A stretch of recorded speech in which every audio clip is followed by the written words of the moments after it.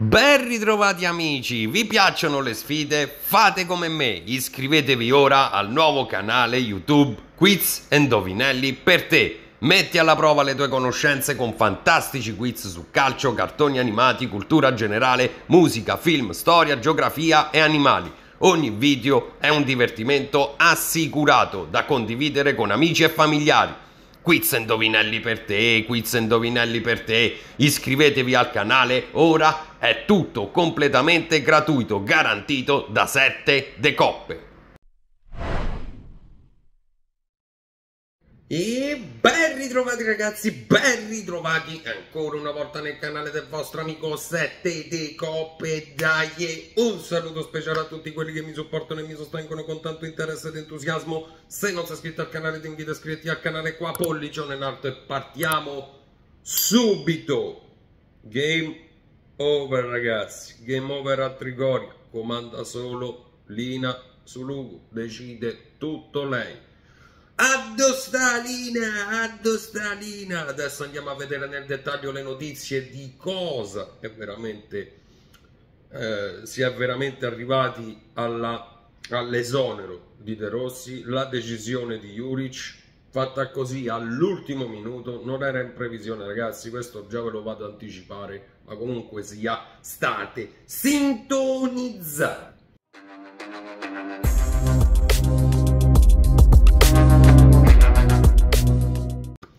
Eccoci qua ragazzi, eccoci qua ancora un'altra volta, un altro bel video pomeridiano. Andiamo a vedere, ad analizzare com'è la situazione con le notizie, con le news che vi riporto come sempre tutti i giorni. Iscrivetevi al canale ragazzi perché questo è l'unico canale dove ovviamente potete trovare un servizio, è gratis, potete iscrivervi tutti quanti sera live, a volte sì, a volte no, e durante il giorno le notizie con il video quotidiano De Rossi è stato esonerato, vedo tantissimi tifosi si sono incazzati, sono veramente tutti quanti incazzati, ieri sono andati addirittura sotto casa di De Rossi a mostrare degli, degli striscioni di affetto all'allenatore, ex allenatore della Roma, però adesso dobbiamo pensare al presente e benvenuto Juric. Cosa è successo ragazzi? Dall'ultimo video che vi ho fatto, poi ieri chi ci stava durante la live l'ho anche raccontato, Dall'ultimo video che vi ho fatto ragazzi, quando sono arrivati Fritkin a Roma, da tutto quello che trapelava da Trigoria, ma non solo a me, non solo a me, anche per quanto riguarda i giornalisti e per quanto riguarda anche il buon Biavora che l'ha raccontato anche in radio, tra l'altro se non l'avete sentito, ascoltato, andatelo ad ascoltare, non mi va adesso di farvelo ascoltare ragazzi, comunque sia, non ho bisogno di giustificarmi assolutamente per le news che riporto, è inutile che fate, che fate gaggi con me, io ho sempre riportato le informazioni esattamente come sono uscite come mi sono arrivate, esattamente come hanno riportato anche gli altri, chi più, chi meno, chi prima, chi dopo, però comunque sia, erano quelle le notizie, non era previsto assolutamente l'esonero di De Rossi imminente, ovvero nell'arco di 24 ore post partita con Genoa, quando esattamente sono venuti Fritkin nella notte di lunedì. Questa è la situazione, ragazzi. Tra la notte di lunedì e la mattina di martedì qualcosa è scaturito dall'interno. Questo non lo possiamo sapere né io né giornalisti né nessuno. Vi ricordo che non sono giornalista, ragazzi. Qualcosa è scaturito. Quello che c'è stato il summit del lunedì, che poi è andato ovviamente a. Ehm, a essere eh, è andato pure a prolungarsi nei giorni successivi perché ci sono stati due cancellamenti d'allenamento ragazzi.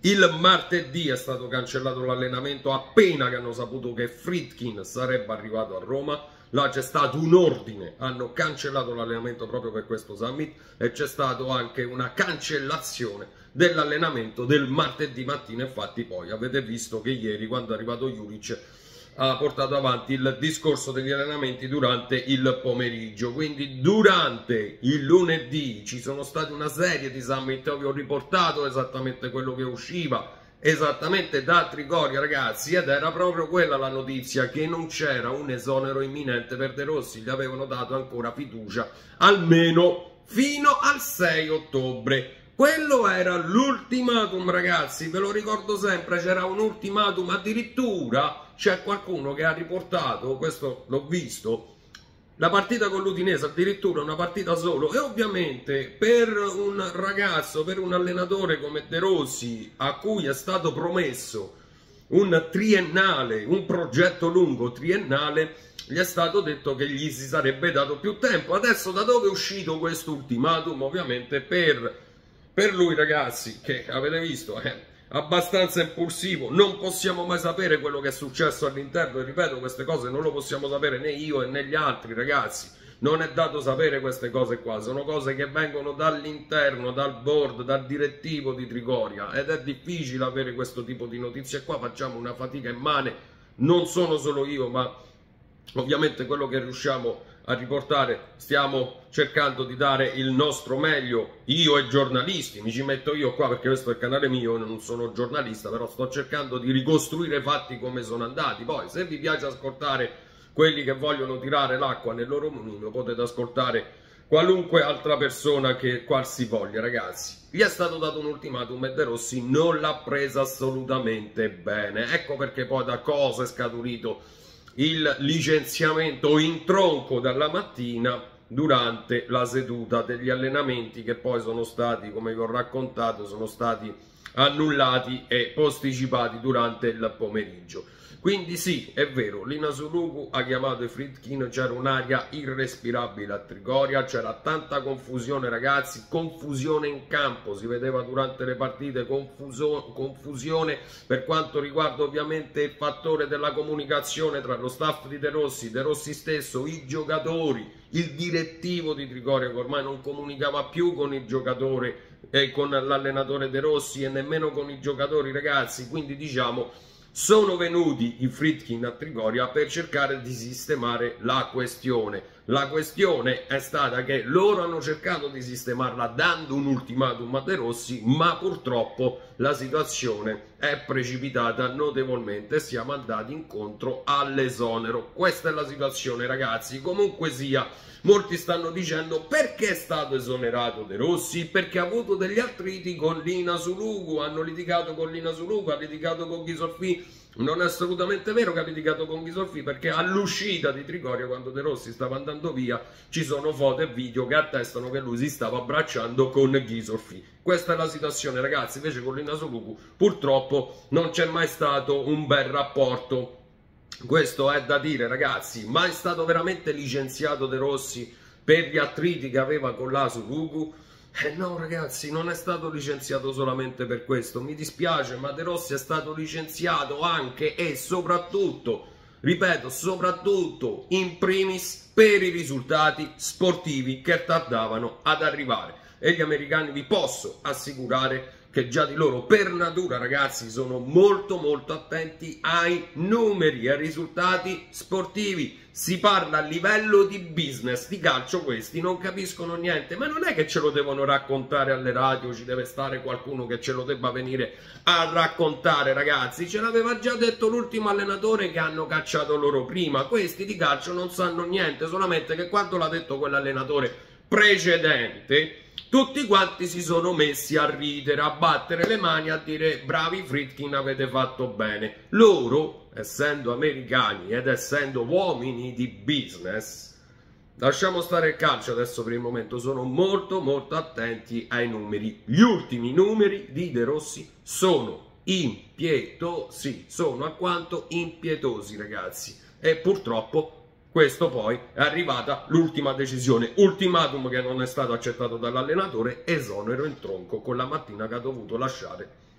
Ovviamente è stato sollevato dagli incarichi ed è ritornato a casa. Questa è la situazione ragazzi, l'errore è stato fatto, certo che è stato fatto, è stato fatto o da un lato o da un altro, è stato fatto o dall'altro, lascia a voi la scelta ragazzi, o dalla, dal primo dal primo errore che è stato fatto è quando lo hanno preso De Rossi e gli hanno fatto il rinnovo di tre anni. Finito De Rossi devono dire grazie, hai traghettato la Roma fino a giugno e magari troviamo un altro allenatore, grazie di tutto e ti diamo, eh, ti auguriamo tantissima buona fortuna per la tua carriera da allenatore. Invece gli hanno fatto un rinnovo di contratto triennale, queste erano le notizie che uscivano anche senza obiettivo Champions.